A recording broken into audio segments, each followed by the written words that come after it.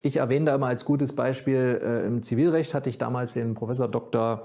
Jens Petersen ähm, von der Universität Potsdam. Das war derjenige, der die beste Zivilrechtsvorlesung gemacht hat. Warum? Wie hat er es gemacht? Der hat gleich mit uns angefangen, Examsklausuren zu bearbeiten. Der hat uns die Klausuren vorgelegt und hat uns an die Hand genommen und sukzessive durchgeführt, wie lese ich eigentlich so eine Klausur, wie muss ich die Fallfrage verstehen, wie baue ich mir jetzt eine Lösungsskizze auf und daran hat er den ganzen theoretischen Stoff dann auch vermittelt und das war perfekt. So sollte es aus meiner Sicht eben laufen.